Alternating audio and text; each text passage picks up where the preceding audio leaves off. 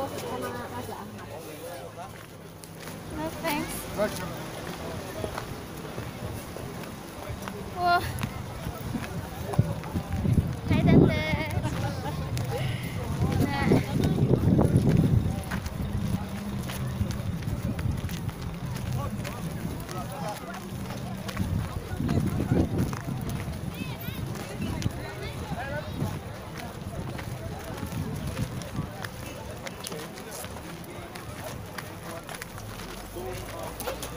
Ada kuda. Wah.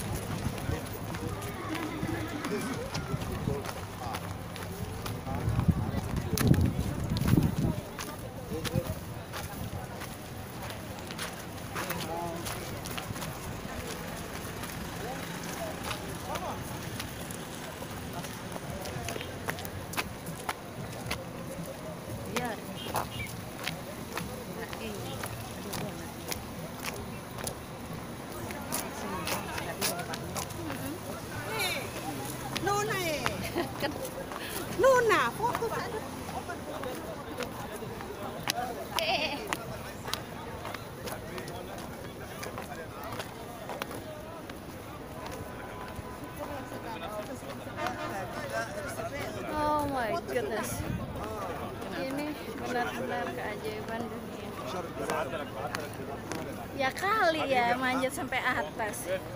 ada bisa ya Ya kali udah gila kali. bisa kalau ke anu apa namanya petualang petualang ini ada jadi penasaran ya naiknya Iya sih.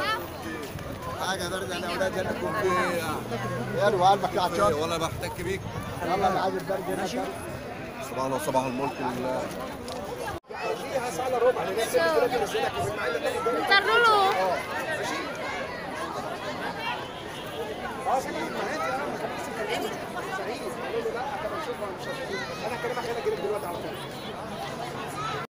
Nah, ini onta piramid bayar piramid untuk untuk istri-istrinya Firaun. Banyak berarti istrinya ya. empat berapa istri Firaun empat Banyak.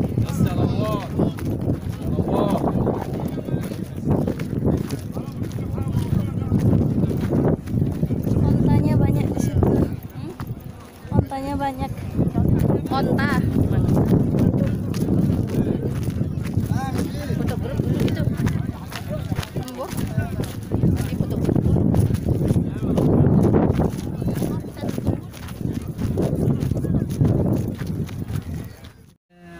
Kau sendiri silakan. Jadi kita kita hanya pakai di Israel Bapak Ibu. Oh.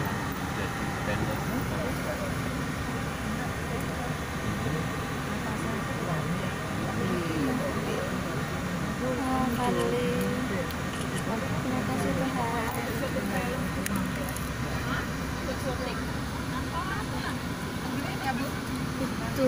untuk istrinya Firaun. Itu ontanya, eh itu kuda coba ding.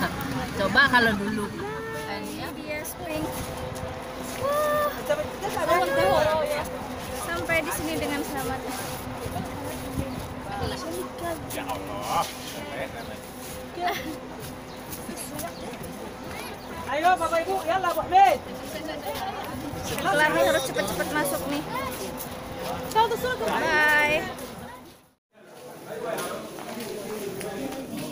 one for lady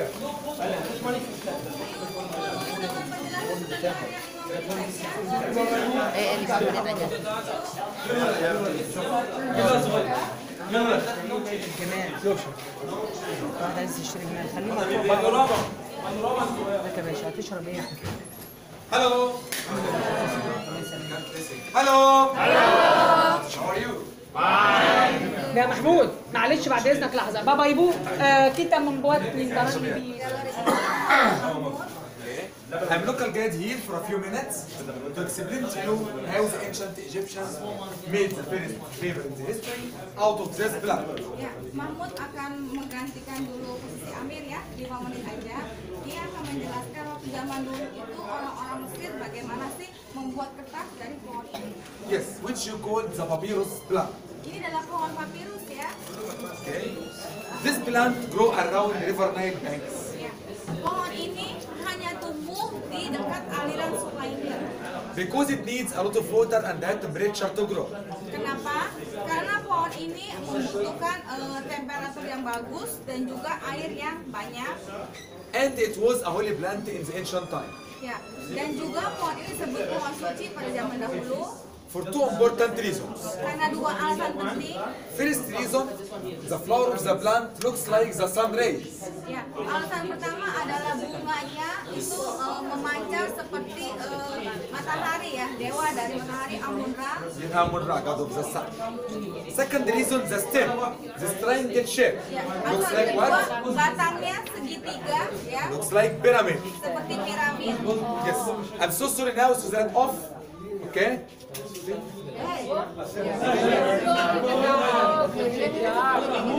Jadi ada beberapa lukisan yang satu lukisan Lagi di mana, Mak? Di papirus. Papirus. Apa itu papirus, Mak? golden Golden. Golden. Apa itu papirus, Mak? daun daun papirus Daun pertama yang jadi alat komunikasi di Mesir. Kita tadi nggak bisa bikin video di dalam.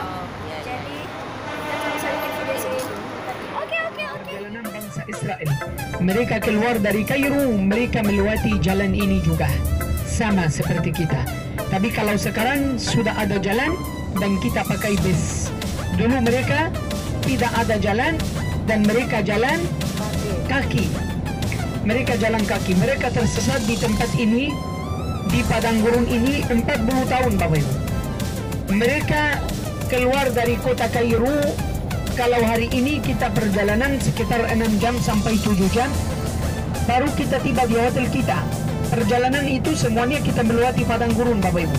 Tidak ada tumbuhan semua padang gurun gersang semua seperti yang Bapak Ibu melihat di sini karena di sini jarang hujan Bapak Ibu. Jarang hujan tidak ada air di sini. Jadi kelihatannya seperti yang di sebelah kiri kita. Tapi Bapak Ibu supaya kita lebih mengerti tolong kalau ada teman sedang tidur kita bangunkan dia ya karena cerita ini berhubungan dengan Alkitab dan berhubungan dengan perjalanan bangsa Israel. Bukitnya. Belakang, aduh rambutku sudah nggak aturan.